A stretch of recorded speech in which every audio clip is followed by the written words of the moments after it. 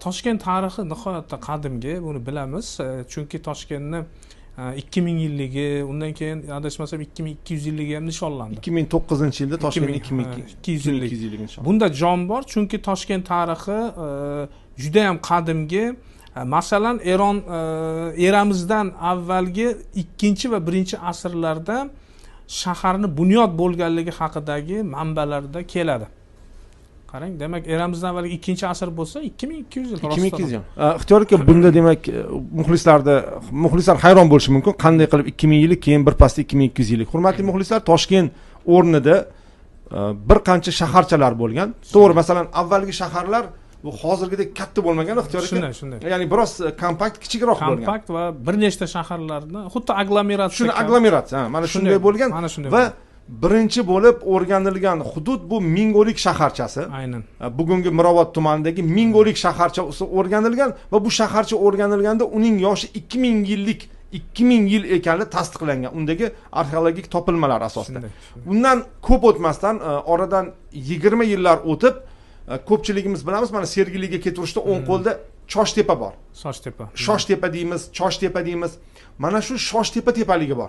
Va u o'rganilganda u boyagi ming o'lik shaharchasidan ikki yuz yil e, qadimgiroq qadimiyroq ekanligi tasdiqlangan. Bu butun faktlar bilan tasdiqlangandan keyin endi nima qilaylik? Tasdiqlandi. Demak toshkent ikki ming emas ikki ming ikki yuz yil. Demak ikki ming to'qqizinchi yil toshkentda ikki ming ikki yuz yilligi nishonlangan hozir yangi massiv tushgan adashmasam uylar bor yonida mana o'sha tarafda. judayam chiroyli o'sha o'rab qo'yilgan. Lekin lekin ixtiyorga bir narsani aytish kerak.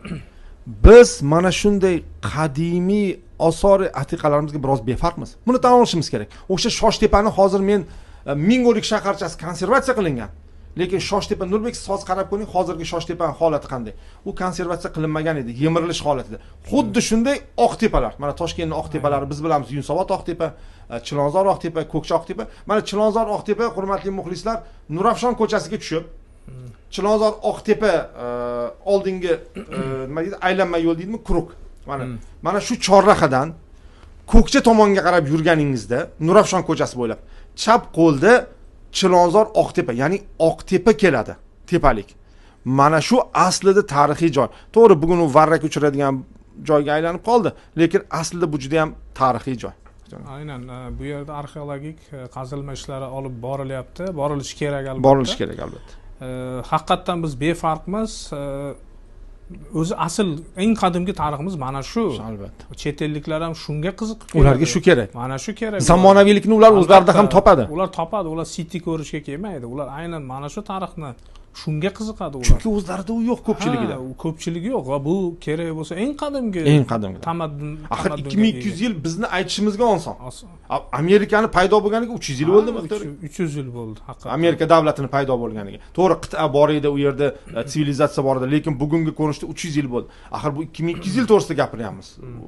Mana yaqinda farg'onaga borib keldik g'ayratxo'ja qo'qondan o'ttiz kilometr e, masofada sariqtepa sariqtepa degan e, bir o'sha kompleks bor ekan tarixiy. E, ustiga chiqib ko'rdik. Haqiqatdan butun nima haligi maydon ko'rinadida. U yerda bemalol jangni ham kuzatish mumkin bo'lgan ekan va dushmanni kelayotgan o'sha yo'nalishlarini aniqlab qo'qonga o'sha xabar berish. Gulxan yoki olov yordamida yo bu o'sha tutun yordamida xabar berish punkti bo'lgan ekan. Buni ko'pchilik hatto qo'qonliklarni ba'zi birovlar ham uyalib qoldi. Biz bilmas ekanmiz bunaqa joy borligini hamma viloyat uyalib qoldi. Samarqandliklar yodingizda bo'lsa afrosiyob bo'yicha qanchalik uyalib qolishdi? Yoki kofir qal'a to'g'risida gapirganimizda jim o'tirishdi shuning uchun o'sha hurmatli mana toshkentliklar e, aziz o'sha yurtdoshlar demak mana shunday tariximiz bor. Albatta mana hasti imomni kelib ko'rish kerak bu yer xastimom bo'yicha ham bu yer tarixiy joylarda bu joylar nega xastimom deb so'rasangiz bilinmasligi hmm, mumkin. hmm. hattoki bir o'zimiz yaqin biladigan insonlarga olib borib oxiri ko'rsatdik hazrati imomni maqbarasi hmm. u endi orqa tarafdaku. Ko'pchilik xastimom deganda oldindagi masjidni tushunadi faqat. Uzoq borsa madrasani tushunadi. Ya'ni usmon mushafi turgan madrasani tushunadi lekin e, mana bu aslida qaffol shoshiy maqbar mana shu yerda o'zi asli aslida shu kishiga qo'yilgan shu kishiga qo'yilgan. kishiga yaratilgan kompleks bu. Qadim zamonlarda toshkent e, shoshtepa e, chachtepa va boshqa nomlar bilan kelgan. Toshkent deb o'n birinchi asrdan boshlab toshkent nomi bilan atala boshlaydi. Qarang o'n birinchi asr. Ya'ni tosh shahar ma'nosida keladi dastlabki xitoy manbalarida e, toshkent qarang xitoy manbalarida keladida e, shi yoki jashi yueni nomlari bilan ham xitoy manbalarida toshkentni nomi uchraydi. E, u mahalliy ya'ni o'zimizda choch shosh jach nomlari bilan shu mana shu nomlarda ko'rinishlarda hujjatlarda kelgan. Uchinchi asr ya'ni milodiy uchinchi asrning ikkinchi yarmida shosh hukmdorlari qarang bu yerda mustaqil hukmdorliklar mustaqil davlatlar bo'lgan. Shosh hukmdorlari o'zlarining pul birliklari ya'ni tangalarini zarb ettirgan ekanlar. Bu salkam bir ming yetti yuz yil oldin toshkent hukmdorlari o'zlarini valyutasi o'zlarini tangalari bo'lgan. Va ana shu tangalarni e, nimasida yuzida shosh hukmdorlari o'zlarining o'sha nimalarini zikr etganlar ya'ni choch geografik nom sifatida birinchi bor qarang sosoniylar shohi shopur birinchining erondagi e, zardushlar kabasi degan degan e, ataladigan bir joyi bor o'sha zardushlarning muqaddas joyi. Ana shu yerda toshlarga o'yib e, shoshning nomi. Bu taxminan qaysi vaqtlar? Sosoniylar davri bo'lsa? Ha sosoniylar o'sha uchinchi to'rtinchi asrlarda beshinchi asrgacha bo'lgan. Ana shu zardushiylar kabasida shoshning nomi geografik nomi kelgan qarang. Shosh besh yuz ellik sakkiz olti yuz uchinchi yillar mobaynida ya'ni yarim asr davrida turk xoqonligining bir qismiga aylanadi. Ya'ni turk xoqonligi nihoyatda katta imperiya saltanat shoshni o'sha o'sha paytda turk xoqonligining bir hududi hisoblangan. Ya'ni g'arbiy turk xoqonligi poytaxti ham bo'lgan. Keyinchalik poytaxt ham bo'ladi to'ppa to'g'ri o'zaro ichki va tashqi o'sha boyagi kurashlar dushman bilan e, kurashlar natijasida bilasiz turk xoqonligi ikkiga bo'linib ketdi. Ya'ni g'arbiy va sharqiy xoqonliklarga bo'linib ketadi.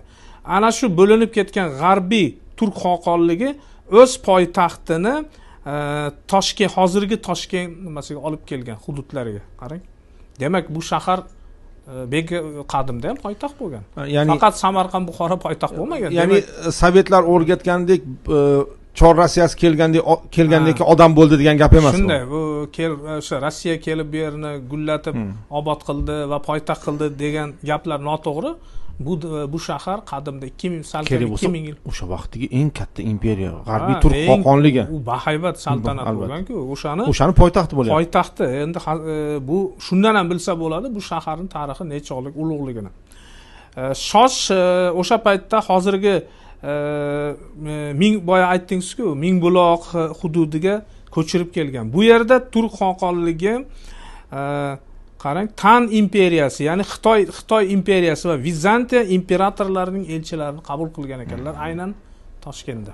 Bir yarim ming yil oldin. Bir yarim ming yil oldin bir ming yetti yuz yillar oldin butun bir saltanatlarni vakillari toshkentga kelgan. Bekorga emas. Demak bekorga emas. bu yer kuchli davlatni saltanatni poytaxti bo'lgan olti yuz yigirma oltinchi yilda shoshga e, e, turk xoqoni bilan uchrashish uchun qarang hind voizi va ruhoniysi prabhab karamitra degan hindlarni katta bir mullasi e, rohibi keladi.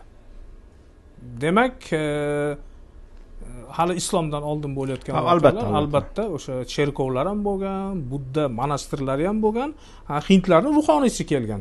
olti yuz yigirma sakkizinchi yilda esa xitoyning budda rohibi mashhur syuan tzan ham shoshga keladi. U hindiston yo'lida kirib o'tgan. Qarang kirib o'tgan. Kirib o'tgan. Demak e, bu yer ma'naviy qandaydir? Nima markaz ham bo'lgan o'zi chor rossiyasi ham bekorga toshkentdan boshlamagan deb bosib olishni. Hmm. bilgan shu joyni olsa chorrahani oladi. O'zi haqiqatdan toshkent mana chorrahada hamma tomonga ochiladi yo'l. Xohlasangiz farg'onaga ketasiz xohlasangiz mana bir e, narsaga e'tibor berish kerak. Hurmatli muxlislar e, mana toshkentni chorraha deyapmiz. Savol bo'lishi mumkin. Qanday qilib chorraha bo'ladi? Axir uning g'arbida ham sharqida ham bemalol yo'llarku yo'q. Hurmatli muxlislar bugun samolyotlar bor davrda bu muammo emas albatta masalan siz navoiy viloyatidan ham samolyot orqali qozog'iston tarafga o'tib ketishingiz mumkin qoraqalpog'iston respublikasidan ham. Qadimda bunday imkoniyatlar bo'lmagan ya'ni buning uchun u cho'l bo'lmasligi kerak bo'lgan. U yerda suv bo'lishi kerak qo'noqlar bo'lishi kerak qandaydir bir infrastruktura bo'lishi kerak. O'sha qadimiy e, shaharchilikka xos karvonsaroylar bo'lishi kerak oziq ovqat bozorlar bo'lishi kerak. Ya'ni avvallari hududlar e, qandaydir yo'l hosil qilish uchun u yerda maxsus e, uzr maxsus emas e, tabiiy qandaydir e, imkoniyatlar bo'lishi kerak. Shuning uchun bizga hozir ko'rinadi qanday qilib toshkent markaziy osiyoni juda bir markazida emas qanday u chorraha bo'lishi mumkin? Yo'q. U o'zining karvon yo'llariga egaligi bilan karvon yo'llariga qulayligi bilan chorraha bo'lgan. Siz cho'ldan qizilqumdan qoraqumdan u yoqqa qoraqumdan bu yoqqa o'tib ketish imkoniyati bo'lmagan qadimda. Bugun endi to'g'ri sharoitlar biroz boshqacharoq. Shunday. Ya'ni toshkentda ya'ni shoshda e, ya'ni poytaxt qilgan turk xoqonlari boya aytib o'tdim o'zlariga tanga o'sha pul birligini zarb ettirganlar va tanganing old tomoniga janobi xoqon pullari deb yozilgan. Aynan shoshda e, zarb etilgan pullar. Э, bu э, o'sha qaysi hududlarni o'z ichiga oladi? Ya'ni zamonaviy toshkent hududida э, hozirgi mana shu hozirgi poytaxtimizda bir paytlar to'rtta shahar va yigirmataga yigirmaga yaqin qal'a va qishloqlarning tuguni aglomeratsiyasi bo'lgan. Ya'ni mana shu butun bir katta o'sha aglomeratsiyani tashkil qilgan. Ular o'sha madinati ashshosh nomi bilan qadimgi toshkent e, nomi o'sha madinati ash ash shosh deb nomlangan bir katta bir aglomeratsiyani tashkil qilgan. Bularning vayronalarini boya aytib o'tdingiz ming o'rik shaharchasi ya'ni oqtepa qazilmalaridan o'sha aniqlash mumkin. E, o'ninchi asrda ibn hokal degan ibn hokal degan kishi ya'ni bu kishi tarixchi ya'ni o'sha paytdagi alloma toshkent haqida shunday deydi. Ya'ni e, shosh ya'ni poytaxt haqida quyidagi ma'lumotlarni xabar qiladi. E, binokent binkent qarang binokent ham deb nomlangan. Binkent e, shosh shoshning poytaxti. E, uning shahriston va qal'alari bor. Ya'ni shahristondan tashqarida qal'alar bor.